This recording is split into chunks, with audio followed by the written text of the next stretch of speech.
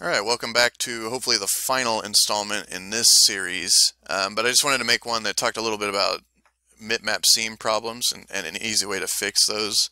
And if you're not familiar with mipmaps, um, in a game sometimes when, when objects are further away the texture will, will scale down.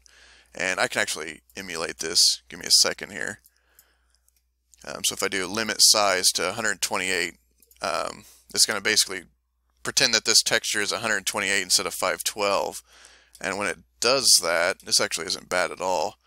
Um, but you can see a little bit of the black is bleeding in here just because it's, you know, it's scaled down. So um, I just don't have enough bleed room for my, for my seams. So that's what we're going to be fixing.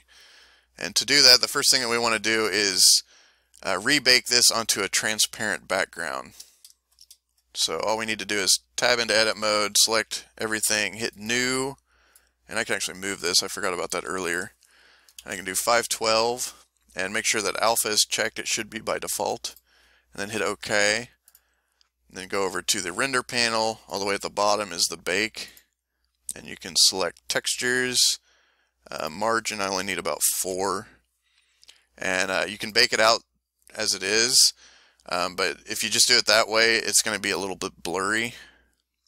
And I don't know if you can see that or not. This is my original painting. This is the bake, and it, it blurred it a little bit. To avoid that, what you need to do is go into your texture, and then down under image sampling, make sure you uncheck interpolation. And then if we just rebake it again, it'll be a sharper image. Basically exactly what I painted.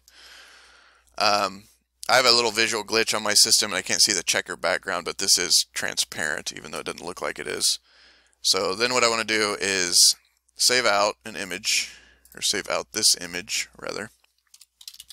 And I'll just name it Dagger Diffuse Bake.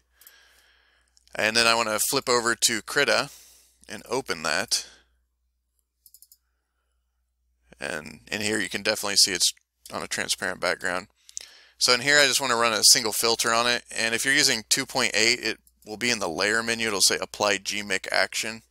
Uh, in 2.9 it looks like they're moving it. I'm using a development version when I'm recording this um, but it's going to be right here in the filter menu which I think makes a lot more sense.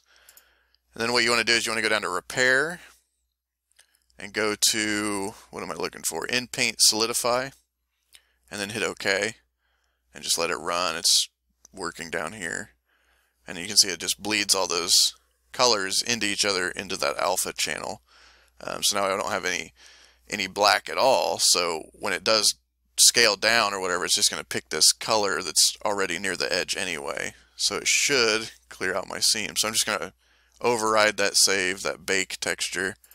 We'll go back over into Blender and I will reload it into here and I'll go back into texture paint mode.